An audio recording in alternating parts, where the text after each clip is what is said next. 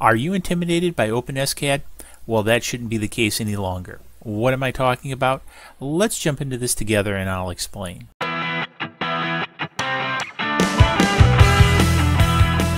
Welcome to this episode of DIY3DTech.com. In this episode, I want to share some updates to the OpenSCAD application, which is going to make it much easier for novices and newcomers to OpenSCAD to make value out of the tons of applications on the internet and Thingiverse and other STL sources out there. So with that being said, before we jump into it, wanted to share with you, if you're new to this channel, I also produce an OpenSCAD channel, and I have a link to that below, as well as a reciprocal website which houses a ton of code which you guys can download for free uh, to create different models to learn from etc because that's the whole idea of that whole channel and site with that being said, today we're going to use this license plate cover example to demonstrate the new uh, updates in OpenSCAD. And when I say new, they've been around for a little bit of time. However, it really just hit me to do an update video on this to help you guys out. So with that being said, we want to check our version. So I'm going to go up here to help, as you can see up here. I'm going to click About, and then you can see the version I'm using is 2019.01 Release Candidate 4. So depending on when you're watching this, your version might be newer, but this is the minimum version that I would recommend uh, to be using. Now, with that being said, we're going to close this out. And one of the big things with OpenSCAD is it's a programming language and, and it's a parametric one at that. So you have different parameters which build upon different parameters. And this is done through the use of variables. And you can see that over here. And so you see the list of variables. Now, since this is really a teaching application, I've been very cognizant about structuring these in an orderly fashion so people can learn from my code. A lot of people aren't so structured with this, and even if they are this structured with it, if you're a new user, it can be a little bit intimidating to go over here and make changes, and if you accidentally delete a semicolon, and you get various different errors, and it just becomes problematic. So the folks at OpenSCAD came up with a better way to do this, and it's called the Customizer, and to access that, what we're going to do is go up here to View, and we're going to come down here to where it says hide customizer.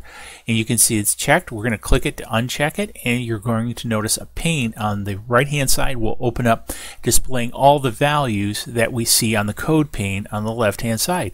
Now the neat part about this is you don't have to worry about messing with the code any longer. You can just simply update the various dialog boxes you see here to make changes to the model on top of that what's even cooler is the fact you can save or create presets. So you see here we can add a new preset we can delete a preset, and we can save the preset.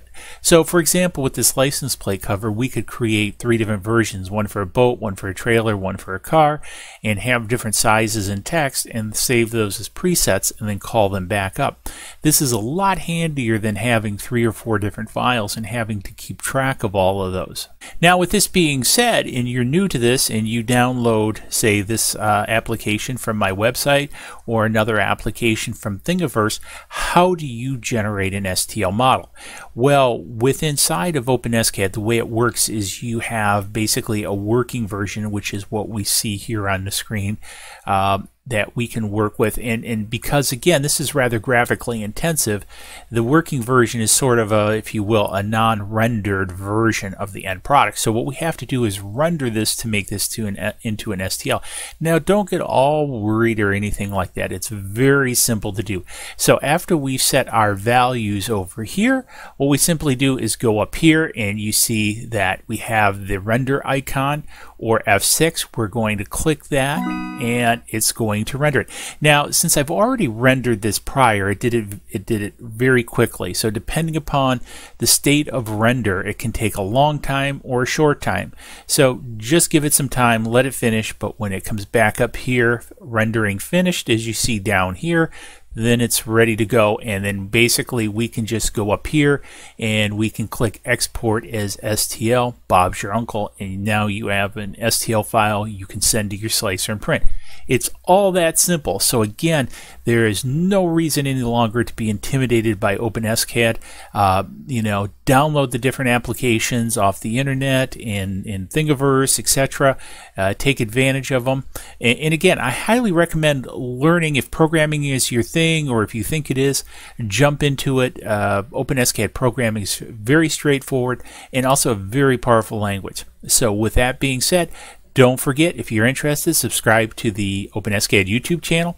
Definitely subscribe to the DIY3DTech.com if you're not already. Swag Shop's in the corner. Check out the cool Maker Geek or Geek Maker. And we'll see you in the next video where we do something else cool. Cheers. Please click like below and subscribe to the channel to keep up to